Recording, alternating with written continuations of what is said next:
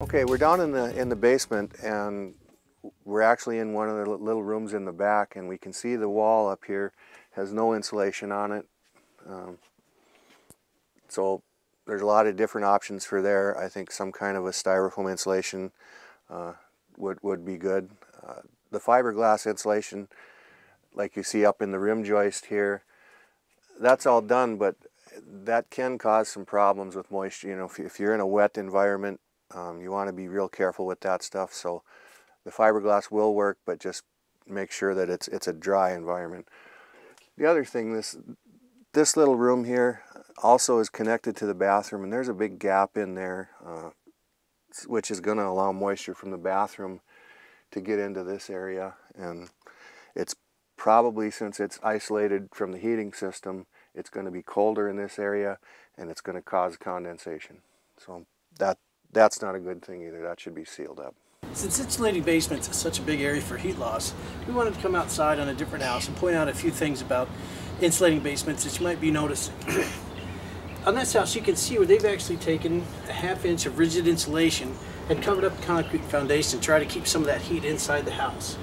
Basements are a huge area for heat loss because concrete walls are extremely inefficient at keeping heat in. They have the same R value, the same insulation value, as a single pane window, where this is a double pane. This is this window has more insulation value than a bare concrete wall.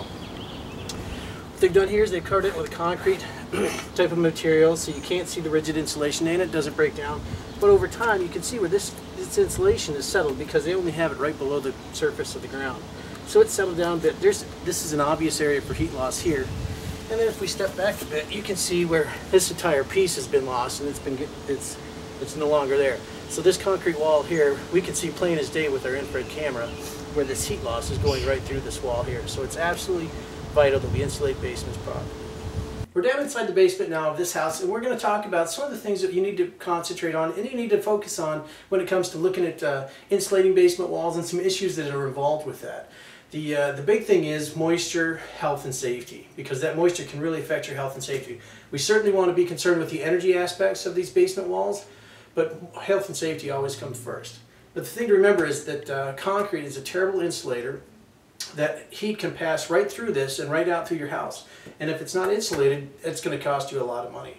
Couple of different things to think about though is we can see where uh, this homeowner has taken some expanding spray foam insulation. Obviously they had some cracks in the foundation here so they tried to fill those up to try to keep some of that heat in there. But this basement here, this portion of the basement, it's not even insulated. So that heat's going to be going right through the actual solid concrete. And these cracks are going to be a little, you know, a big issue because it's passing air through. The other thing is the type of insulation, if you're looking to insulate this, you need to think about that.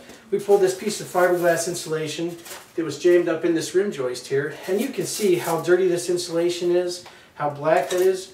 Fiberglass is a good insulator, but it's a terrible air barrier. So that air can pass right through this fiberglass insulation.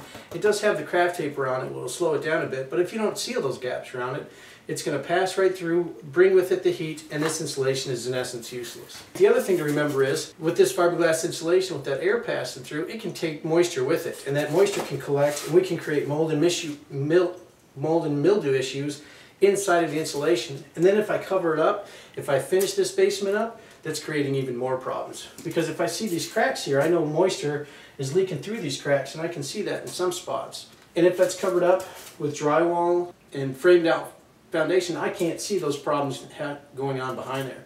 The ideal is I want to make sure that any wood, any framing members that come in contact with the foundation wall are treated wood.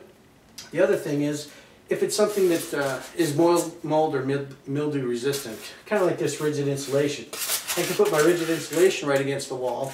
Then I can fur out my framing. I take my 2x4s, or whatever it is that I'm going to frame out from, and put it up against that so I don't have the problems of mold and mildew growing against that. That's a tough one to say.